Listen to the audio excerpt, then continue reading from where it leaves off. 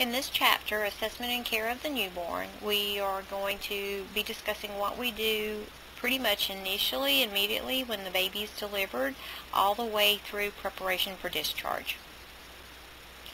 Well, what does an APGAR score tell us about our baby? Remember, until delivery and the first breath, all we have to go on to, to determine the status of the fetus in utero was the um, external fetal monitoring. But what we see on the strip isn't always a true depiction of what's going on inside. So we do an assessment and assign a score to our baby that's based on five criteria. Activity or tone, pulse or the heart rate, grimacing or a reflex, appearance or color, and our respirations. Each category can receive a score of 0, 1, or 2, and if the neonate score is perfect in each category, then your APGAR score is a 10. Now, personally, I've never seen a neonate get a 10 at 1 minute, or really even at 5 minutes. However, I have heard other nurses report this happening. You have to remember babies are rarely ever completely pink um, in that first few minutes. Um, so getting a 2 on color is going to be pretty hard. Now they can receive a 2 in all other categories, um, which means that they would get maybe a 1 for color and 2 for everything else, so their APGAR would be a 9. As long as the neonate scores at least a 7, he is considered in good condition. Every neonate is going to be assessed at 1 minute and 5 minutes, regardless of the score of the first APGAR. Why? If we get a 7 at one minute, why do we have to look at it again? Well, go back to the initial, you know, thread in the question. The um, external and electric fetal monitoring, it will not always give us an accurate reflection of the fetal status um, once it's out because it may look good, but it really isn't. That first one minute APGAR is going to give me an indication. It reflects fetal status in utero. Then, because we know babies are respiratory driven, we have to determine how that baby transitions from being inside mom to being outside of mom. Did the baby figure out what needs to happen and how to breathe? Remember, they're respiratory driven. If they're not breathing, nothing else working. So that five-minute score will reflect transition. Did your fetus figure out how to transition from intrauterine life to extrauterine? If both the one minute and the five minute APGAR are at least seven, then you're done. Okay? However, a score of less than 7 at 5 minutes indicates there's some degree of depression and difficulty with the transition, so you're going to do an APGAR assessment at 5-minute intervals thereafter until you reach a score of 7. So if we say 10's perfect, parents sometimes freak out whenever they say, well, my baby's only a 7. It is important that we educate parents to know that any APGAR score between 7 and 10 is good. Okay? If you see a 4 to 6 that's moderately depressed, they are probably having respiratory issues.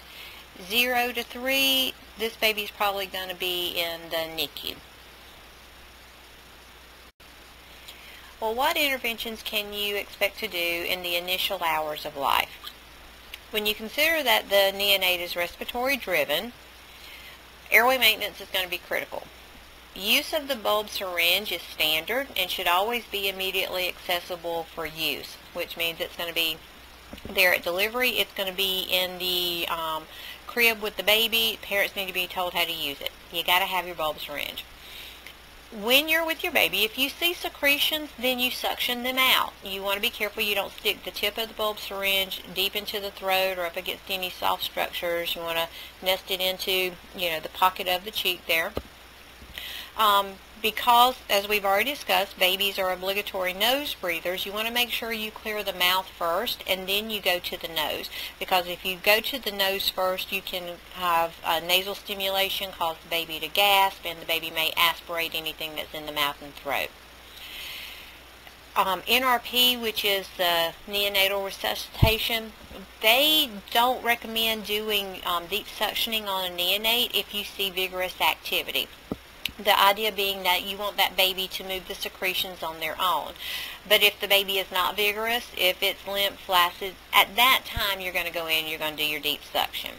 If you have meconium in the amniotic fluid and the baby aspirates, if the baby can get it up themselves, you try, let them try and give it up themselves. If not, there's actually a little um, device called a meconium aspirator. It's really just like a little suction trap that you will be able to um, get the meconium aspirate out. Once the baby's airway is patent, then she should start breathing on her own and everything else is going to follow suit. So like her heart rate's going to pick up and it's going to maintain uh, above 100 so that she's going to have adequate perfusion um, for oxygenation, thermoregulation. If the baby doesn't go skin to skin right away, then it'll go under a radiant warmer because we need that temp to get up to at least 36 degrees centigrade.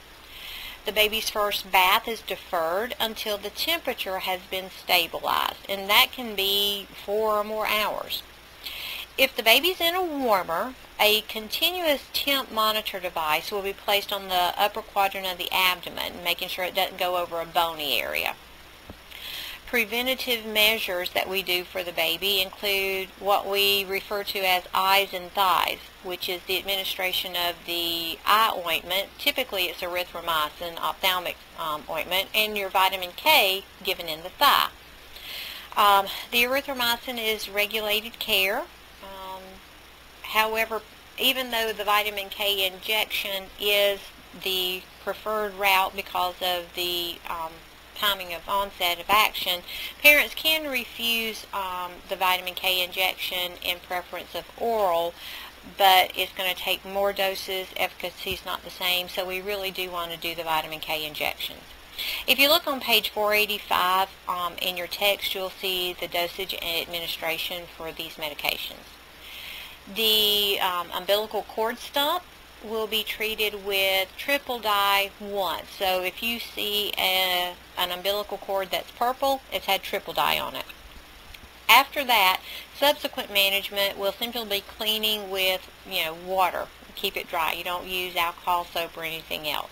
You're going to observe for signs and symptoms of infection such as redness, drainage, edema, anything that could alert you to infection every time you change the diaper.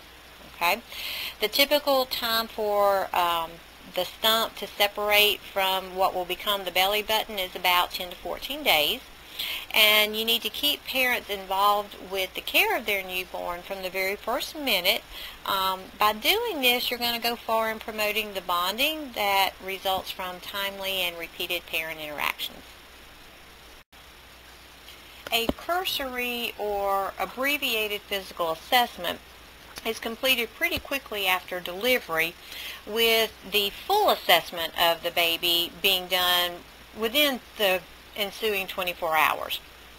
It's important to make sure the newborn is transitioning well and is not experiencing any distress when the assessment is being performed. So you don't want to do it too early and the baby can't get its temperature maintained because you don't want to take it out of its um, thermoneutral environment. Not all babies are delivered with the providers knowing a definite gestational age, meaning kind of like my niece who didn't get any prenatal care. She didn't tell anybody she was pregnant. She didn't know how pregnant she was when she went to have the baby. So if they, you know, didn't know what it was or how pregnant she was, you have to figure out by assessment where the baby may be. So you start with what you know, what you see, you figure it out and you go from there. If you have an idea of what the gestational age should be, then you can classify the newborn uh, based on weight. So if you know, okay, I'm looking at 36 weeker, 38 weeker, whatever, um, and their size, their weight is appropriate, they are AGA or appropriate for gestational age. If the weight is above the 90th percentile, say you do know that she is 35 weeks, Um, but she was born to a diabetic mom, so at 35 weeks, baby actually, I don't know, weighs 9 pounds. Okay, that's going to be large for gestational age. If it's below the 10th percentile, it's going to be small for gestational age. So by deductive reasoning, you can figure out that if the baby is between the 10th and the 90th percentile, they're appropriate birth weight. If you are working with a pretty reliable due date, you can classify the newborn according to the gestational weeks of their age. A fetus that is delivered before a completed 37 weeks, so anything up to 36 weeks and 6 days, is considered preterm. Now, if he makes it to 34 weeks and delivers between 34 and 0 and 36 and 6, he's going to be considered late preterm. It's still preterm, but it's later, okay? It comes up close. This is potentially a bad position for the neonate to be in because he may look like a full-term baby, okay? It may be a bigger baby, all the parts are put together. You just look at it, you say, oh yeah, that baby's that baby cooked long enough. But the systems haven't yet fully matured, so that baby is more susceptible to stress. Now your term, as defined by your textbook, is any delivery that happens between 38 and 42 weeks. Okay, so that's, that's a range. Once your fetus hits 41 weeks, the real world um, will refer to this baby as post dates. They will do non-stress tests for fetal well-being. Your textbook classifies post-term or post-dates as a pregnancy that goes beyond a completed 42 weeks of gestation. If the pregnancy goes beyond 42 weeks and there is identified issues with the fetus, maybe recurrent late decels, variability is minimal to absent, um, low pH on cord gas, anything um, like that, then we recognize this as effects of placental insufficiency and we will tag the newborn as a post-mature newborn because the placenta is past its maturity level. It had simply aged too much to be effective um, as the site of gas exchange for the fetus while it was in utero. Now, if you have no idea how far along the pregnancy was, you can estimate your gestational age of your neonate based on your neonatal assessment. And what do you see? For many years, Dubowitz was the standard for determining gestational age based on physical findings, but there was a um, simplified assessment scale that Ballard created that looked at six physical and six neurological um, scales to assign an age. The Ballard was effective in assessing your 35 to 42 weeker gestation. Okay, but what about those that were born younger? Because we know that viability starts at 20 weeks.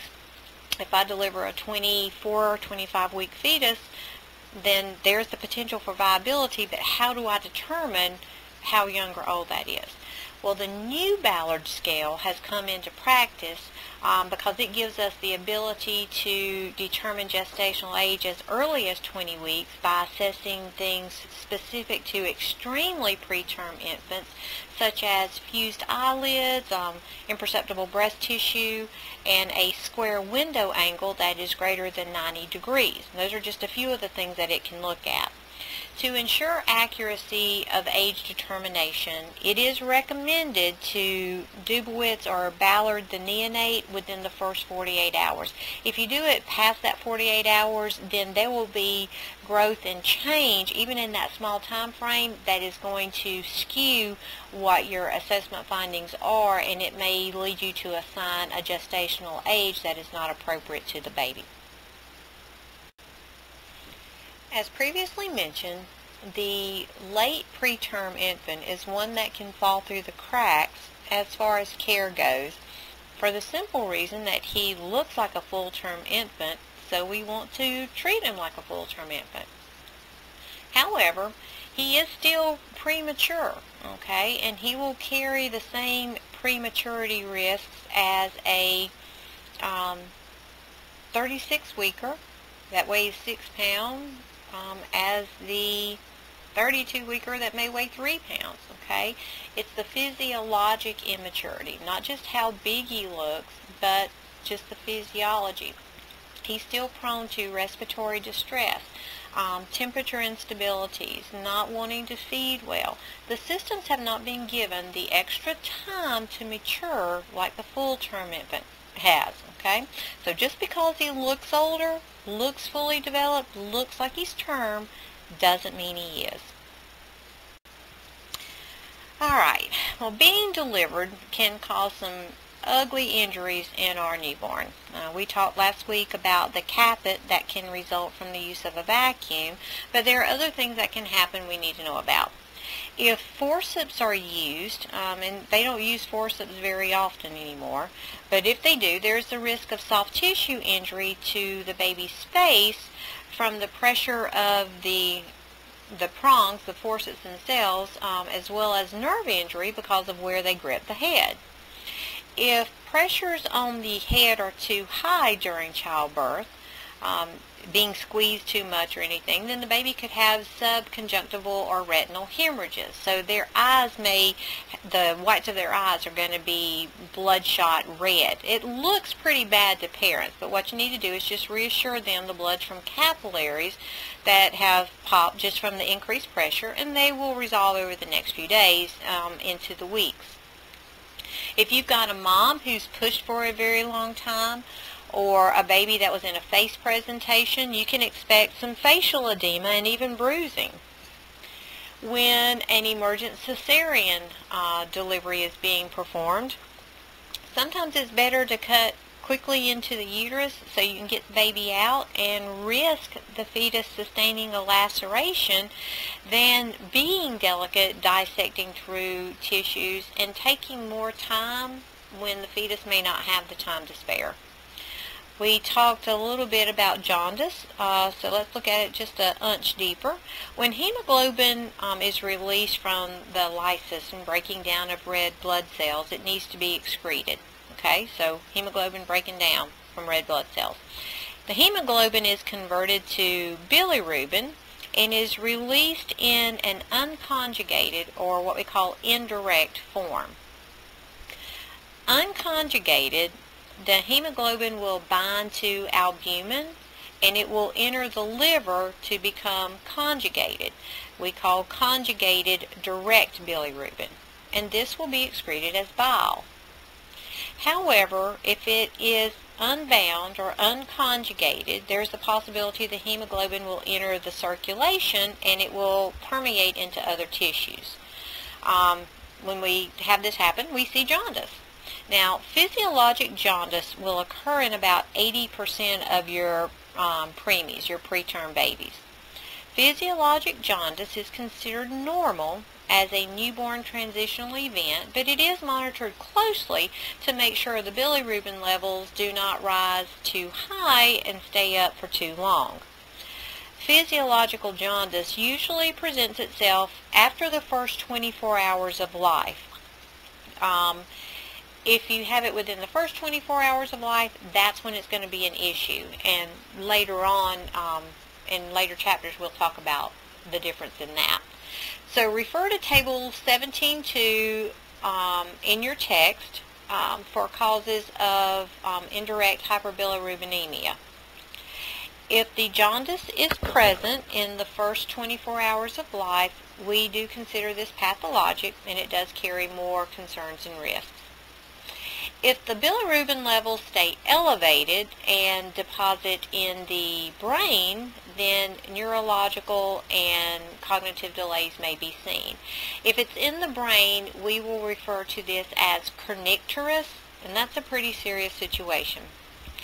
Um, I think I told y'all last week, you know, Rachel had jaundice whenever she was a baby. Um, just she didn't need further hospitalization or anything. A lot of it was associated with the breastfeeding that I was doing.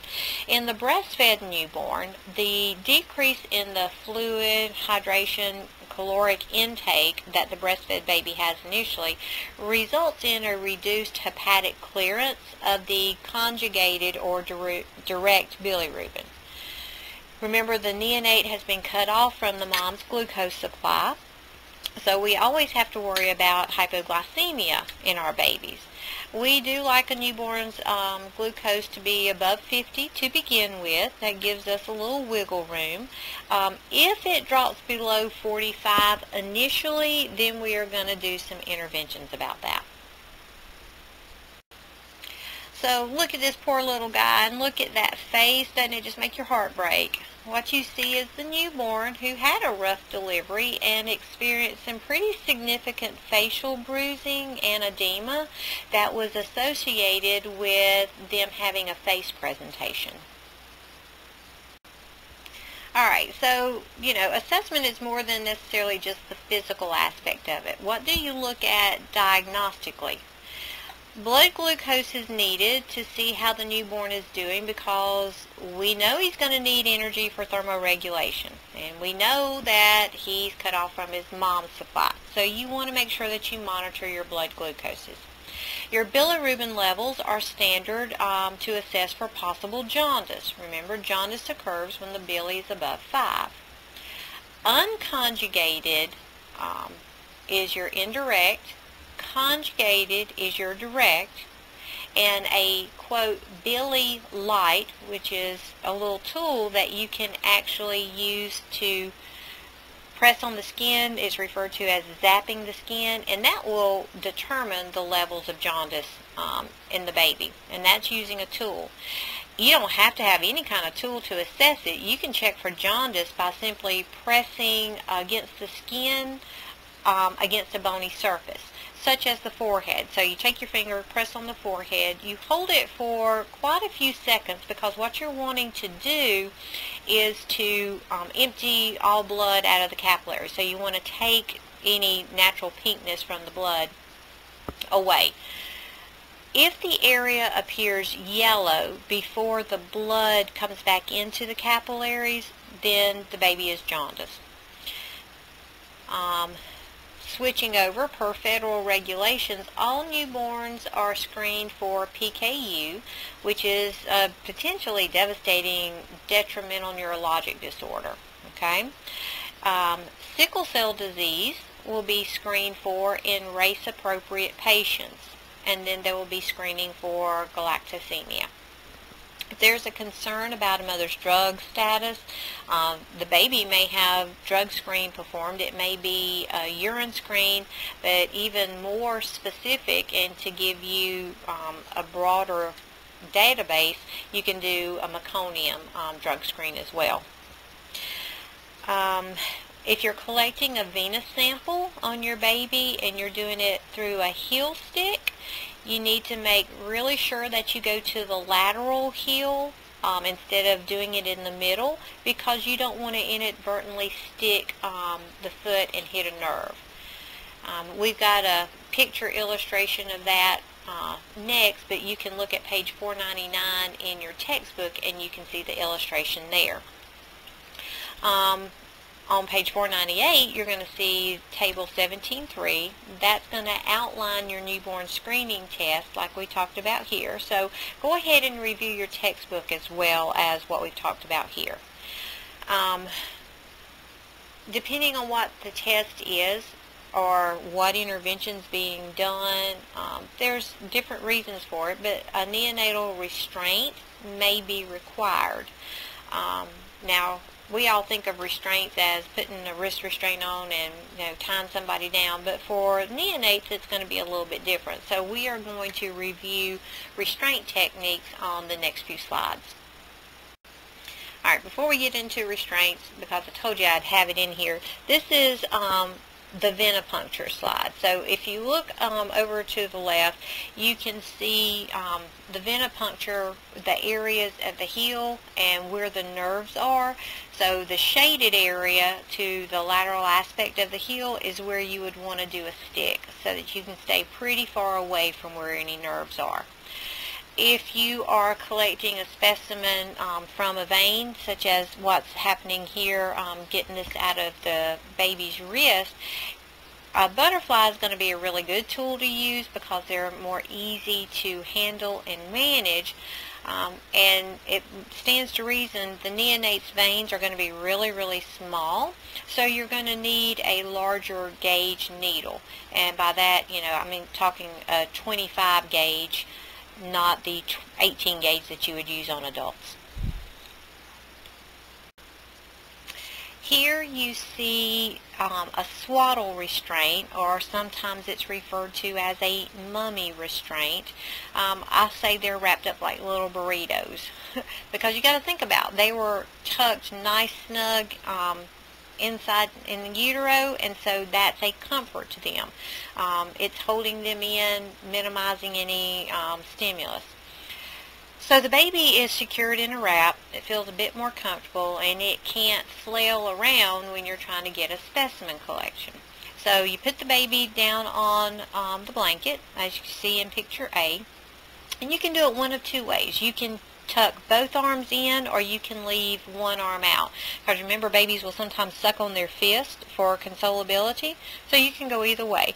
But you take one corner and you're going to wrap it over the baby. And a lot of times you'll um, if you're getting both arms you're going to get that arm kind of tucked down so that it comes up a little bit over the shoulder goes across the body diagonally tucks underneath the baby. Then you're going to pick the bottom of it up and you're going to pull it up towards the baby's head and you're going to tuck the tail of that into the top edge for where you folded it over the first time. And then the um, last wrap you're going to tuck the arm down if you're going to put both arms in or leave one arm out and you're just going to wrap the blanket um, crossways on the other side of the baby and tuck it under behind them. And they get wrapped up like a little burrito. Other procedures that sometimes are done are something as simple as um, a lumbar puncture if you're worried about um, anything, you know, sepsis, neurological or whatever with your baby, or you may need to get femoral access, uh, either to do an inguinal femoral assessment or to put a line or anything like that. You don't necessarily have to have a physical restraint device um, to do those kinds of things. You can simply, um, with the diaper, to protect the genitalia, you can hold the um, the legs open. You've got one hand um, on the lower abdomen across the um, bottom genital area and then one um, other hand stabilizing the leg so that you can keep it um, abducted, opening up that um, inguinal region. If you're doing a spinal tap, a lumbar puncture, then you can just simply hold the baby with one hand. You can curl it up and one hand is holding the extremities in the front and you're supporting baby with the other hand. Now I talked earlier about there are sometimes when you want to get a urine sample um, on your baby, especially if you're doing, say, a urine drug screen. So this is just showing you different um, methods for collecting urine samples. Especially, um, well, with little boys and little girls, actually, it can go either way. With the boys, it's easier because the penis can actually stick down into the collection bag. But with the little girls, you got to make sure that you seal everything off well because whenever she voids, you don't want the urine to run down, you know, between the labial folds and then um, down the um, buttocks crack. So you got to make sure that the adhesive sticks all the way around the perimeter well enough that the urine is going to flow into the bag and it's not going to flow underneath the babies. The infant safety um, is a majorly significant crucial aspect of newborn care um, in the hospital and once they go home. Okay, you want to make sure in the hospital the environment is um, safe for the newborn. You want to instruct the mother to keep the crib away from the door. Um, anytime that you go in the room, you want to check the mom's armband against the baby's um, anytime you take the baby into the room, um, anytime you take the baby out of the room, anytime you're going in to do an assessment or an intervention, you want to make sure you got the right baby and the right mom. Um, when they are labeling the baby, banding the baby when it's born, the baby will get an ID band and then you will have a matching ID band with matching numbers placed on the mom. So you'll check mom's ID to make sure she is who she says she is, but you're also going to be checking that matching ID band on mom that correlates to the baby. You always want to make sure you got the right baby and the right mom. Um, you want to make sure if you have an infant security bracelet, um, so something that is going to trigger an alarm, shut down the um, locks on the doors, you need to make sure that the security bracelet is um, firmly in contact with the baby's skin because it's being in contact that it's able to track wherever the baby goes. If that um, security tag is removed or broken from the newborn skin contact, it's not going to be able to set off the alarms.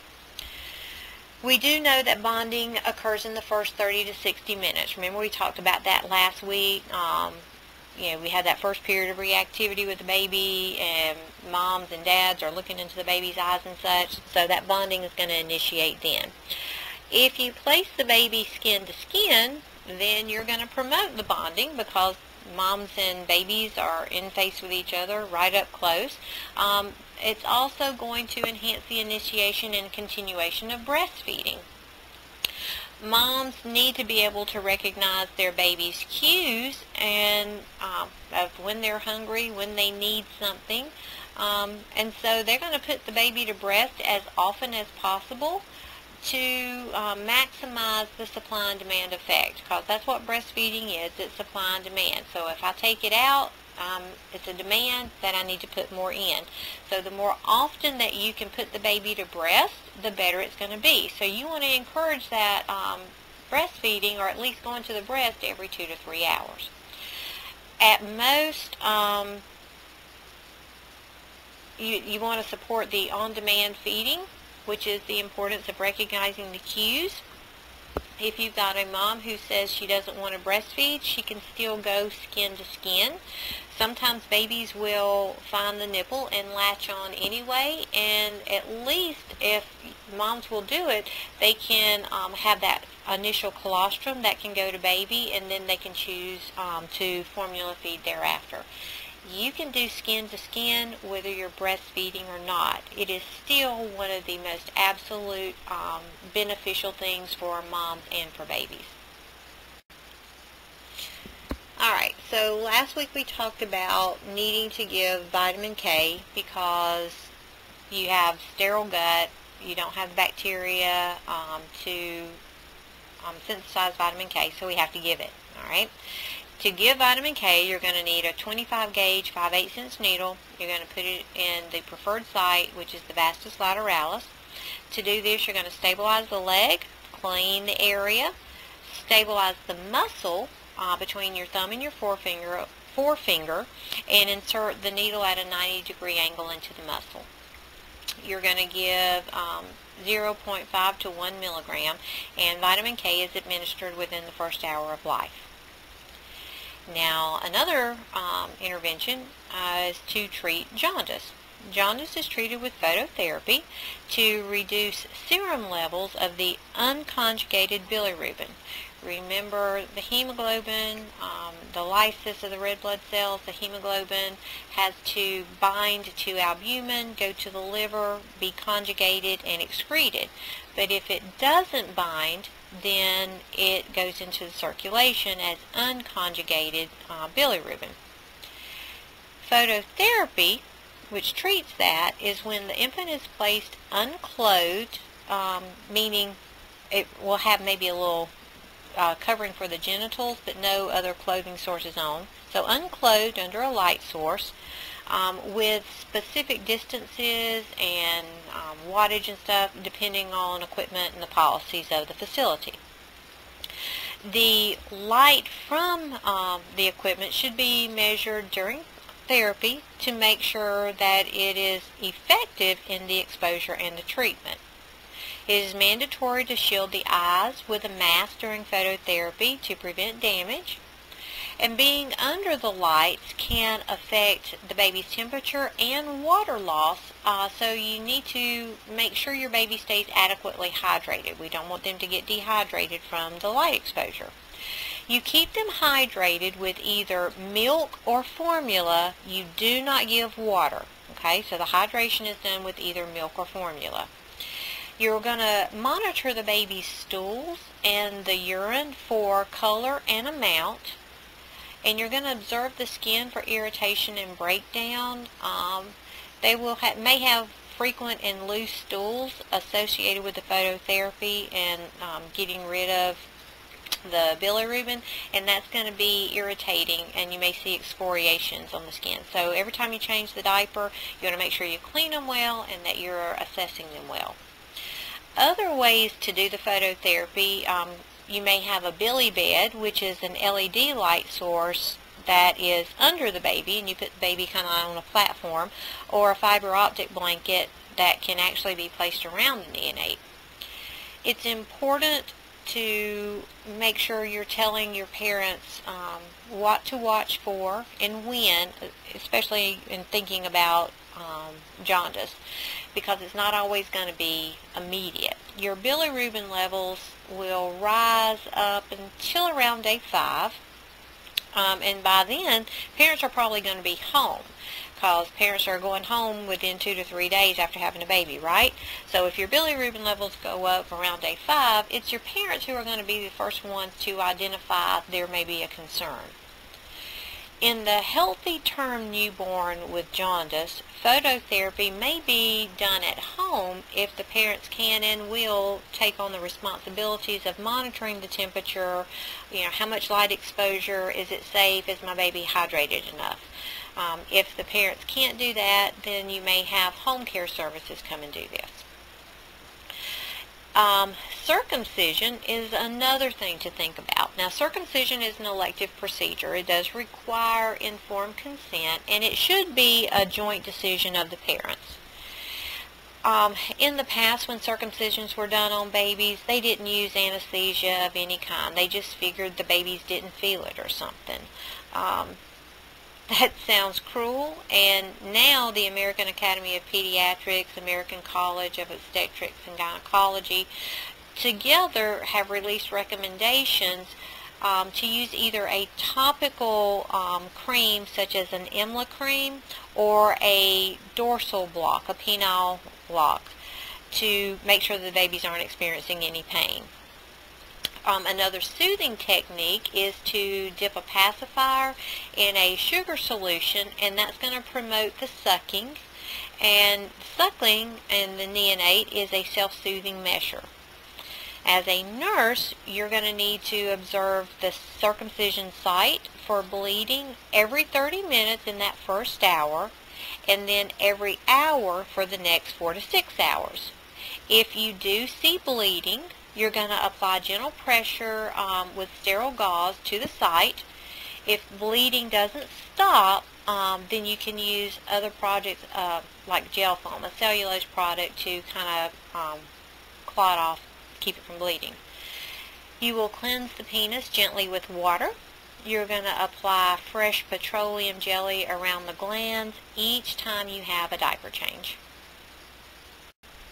So previously I kind of talked through how to do an IM injection. So here you can see kind of the nurse's, how she's got it positioned.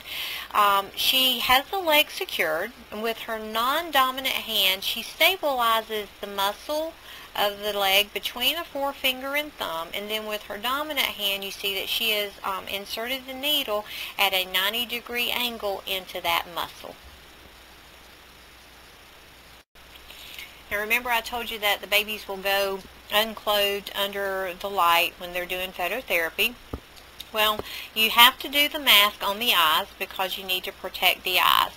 It's an important thing to make sure that the eyes are closed before you put the mask on because you don't want to have any damage to the cornea, any scratches or anything and the mask should completely cover the eyes, but you want to make sure that it doesn't cover up the nose or the nares because the baby still needs to breathe. it goes under the the light unclosed because you want to expose as much skin as possible so the light can break down the bilirubin. But you do want to protect the genitals so you can form, you know, devise something that, for lack of a better word, is like a string bikini. So it protects the genitals, but it still will leave a goodly amount of skin exposed to the light. So what you see here is um, a circumcision being performed with a Yellen, or I refer to it as a Gomco clamp.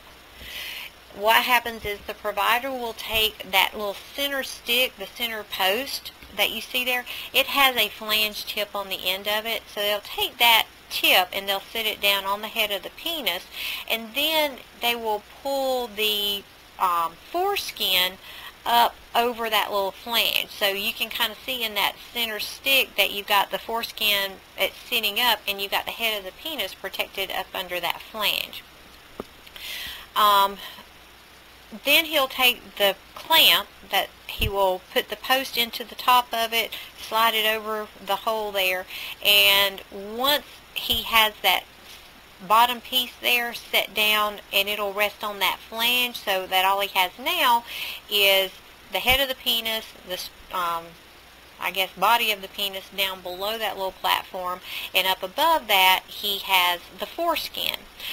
He will then tighten the clamp down and then he'll take a knife blade and with a knife blade he will cut the foreskin free running it along the edge of where that platform is. Um, once the foreskin is taken away, then he will remove um, all of the clamps. You will have then the head of the penis, the glans, and they will put a petroleum gauze. They will just wrap it around the penis, and then they will um, observe that for the bleeding. We do need to assess babies for pain and be aware of what their responses are uh, because they can't tell us when or what hurts. Okay, we want to minimize what they feel in a negative way and for how long they feel it, and we want to help them cope with what they're experiencing, kind of the same way you would do uh, an adult. You need to remember a newborn um, in pain is going to cry, grimace, um, possibly flailing their hands and feet around, just setting up a little bit of a fuss. All of this takes energy, okay, and depending upon the age and the level of maturity, um, she may not have the metabolic reserves for oxygenation and in energy expenditure that a term baby has. So it's really important to keep them calm so that if they are a pretermer, they don't utilize the resources limited that they have for a pain response you can help soothe babies by doing what we call the five S's. You can swaddle them up because remember that little cocoon, it's a soothing thing. You can swing them, so holding them in your arms, just swinging them side to side. You can do the shushing sound, and a lot of times I do that with swinging, so it's shh, shh, shh, shh, shh, okay? the sucking, so they can suck on a passy, they can suck on their fist, they can suck on your fingertip, okay? So you can just put a gloved finger in the baby. Remember Princess Diana? Um, pictures where she was holding her babies and her pinky was in the baby's mouth. She was soothing them by letting them suck.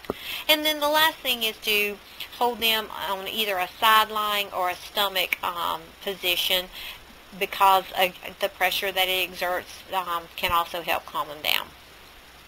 Um, non-nutritive sucking, so sucking on a pinky, a fist, a passy, anything like that is a self-soothing activity. Your babies can receive medications, um, but you do need to use care and caution when you're giving them medicines. Your morphine and your fentanyl are the most commonly used opioid medications. Your acetaminophen is used for your mild pain, and your ketorolac is used for any post-op pains. Um, we did talk about the topical agents like the EMLA and then the blocks when we were talking about the circumcision. So remember those are um, pain management for medications as well. All parents need to know the proper way to install a car seat and how they need to put the baby into the car seat. Remember the car seat faces the rear window and should always be in the back seat of the vehicle. Um, you need to be careful about giving pacifiers to your babies. They're, even though, you know, we said er, on the previous slide, well, pacifiers, um, you know, sucking, soothing. There is a current discussion over the negative impact that pacifiers have um, on breastfeeding. If the newborn needs to engage in non-nutritive sucking and that self-soothing, then kind of like we said, consider letting her suck on the um, tip of your finger. You know, put the baby to breast, let the baby suck on its own fist. Pacifier sucking um, uses different muscles and is a different feel, and it can actually interfere with the baby learning how to do an effective latch for breastfeeding. Um, you need to review cord and skin care with your parents when the next visit is. Is it a visit for a weight check with lactation or are you going to the pediatrician's office? You need to make sure they're aware of what the follow-ups are. Um, discuss your vaccination schedules and the importance of following up with that, what shot is due when. Uh, really all parents should be capable of CPR for the newborn. Um, whomever is going to be a caregiver for the baby should be capable of um, infant CPR. You want to review signs of distress or potential complications, uh, such as what constitutes a fever, you know, how should the baby be breathing, what should wet and dirties look like, and how many should they have. A typical rule of thumb is six to eight wets a day and at least three dirties a day. Um, you're going to know how your baby's hydrated by, you know, what fluid are they putting out and what does it look like. Your breastfed babies will feed more frequently than formula-fed babies because their digestion is very effective with breaking down breast milk, so it's going to clear the milk out um, in a shorter time frame, so they'll need to feed more often. Your breastfed baby is going to nurse about every two to three hours okay? You need to remember this is her food and her water. She goes through it pretty quickly. It is not recommended that breastfed babies go more than one four-hour period without nursing. So, you know, the mom who's so proud that her baby slept through the night, that's not a good thing, not to begin with, okay? So, every two to three hours, breastfed babies will nurse. You don't want them going more than one four-hour period without anything. When you're putting a baby down, um, they should be placed on their back. The mantra is, quote-unquote, back to sleep. They should be in an unencumbered crib. That means there are no loose blankets, uh, there are no toys, there's no pillows, there's no bumper pads. There's nothing in the bed with the baby but the baby.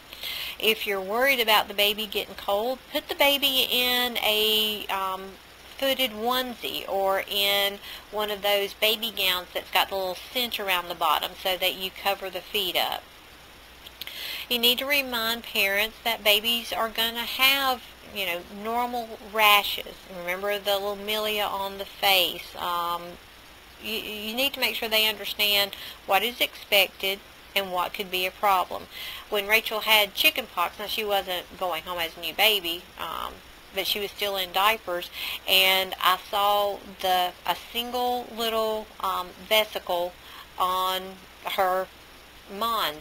I, whenever I changed her diaper, and I was like, huh, that's interesting. What's that? You know, being a nurse, I still had to stop and think about it. So you need to talk to your parents about what's normal and abnormal in the skin.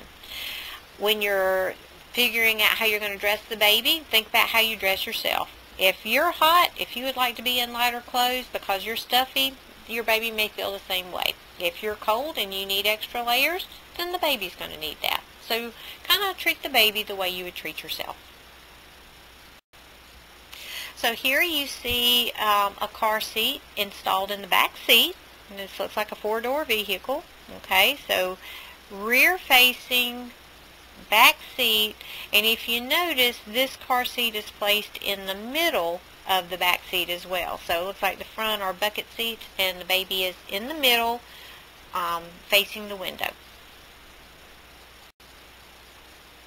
You need to be sure parents understand what to watch for in the first few days. Jaundice, wet sturdies, feeding schedules, amounts, what are they taking in, that kind of stuff. Depending on what type of birth the mom had, um, will a lot of times determine what she can get back to doing. Um, if she had a cesarean birth, she's probably going to be um, limited in what her ADLs are going to be, but she may very well still want to get up, take a shower, brush her teeth, eat, sleep, that kind of stuff. Um, if the floor doesn't get swept or the dishwasher run, that's going to be okay. All right, you need to let her slowly get back into, remember she's transitioning into a new role, so let her take it at her own pace. Everybody wants to come and see the new baby. I mean, they're just so excited, friends, family, everybody. They want to come. But what you really need to do is to tell her to limit the visitors um, in the first few weeks even, okay?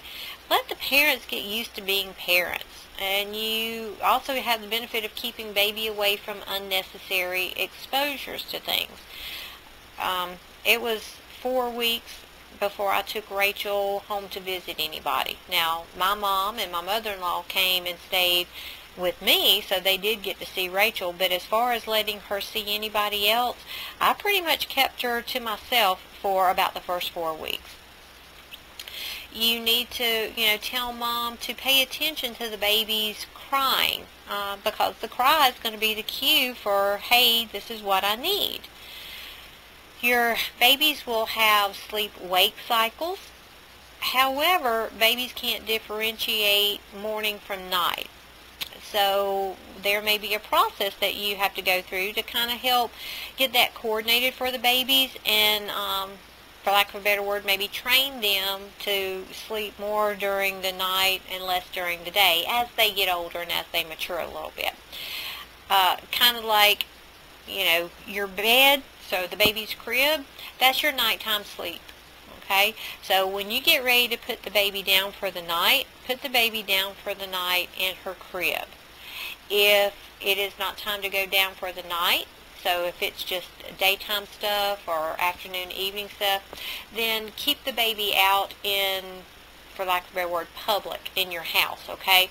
If she gets sleepy and she needs to take a nap, don't put her in her crib for that. Then, you know, just hold her, rock her, or put her, you know, um, in a bouncy or on a pallet or something like that. But you want her to start equating crib, nighttime routine, good night's sleep as opposed to sleeping anytime and anywhere.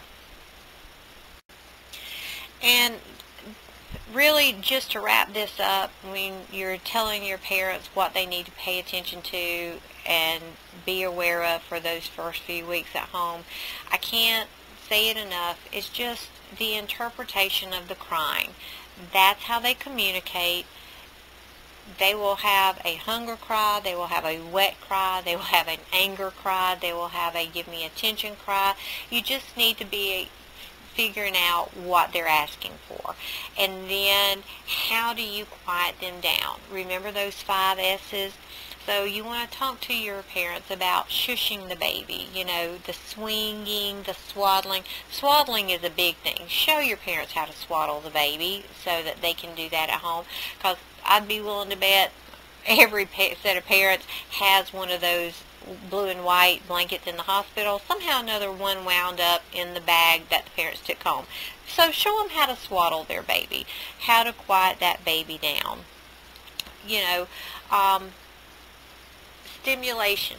You got to be careful about that. Remember that um, quiet alert stage, optimal stage for the baby, but if you overstimulate, then they may start pulling away from you. So you, you know, want to keep them engaged, but you don't want to overdo.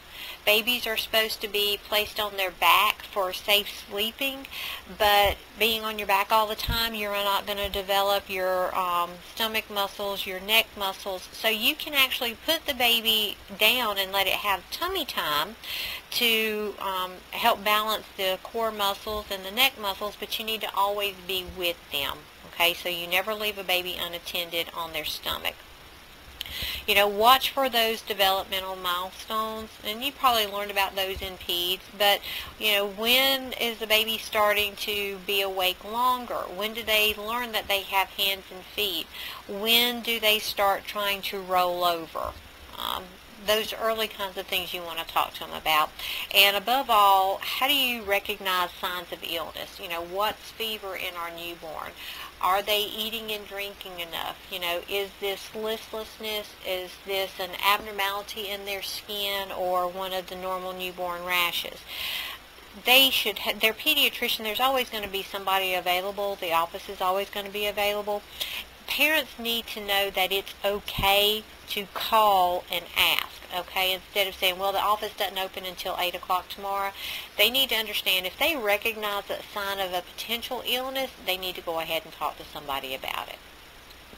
So that takes care of um, our assessment of our newborn, and um, we're going to be talking about newborn feeding in Chapter 18.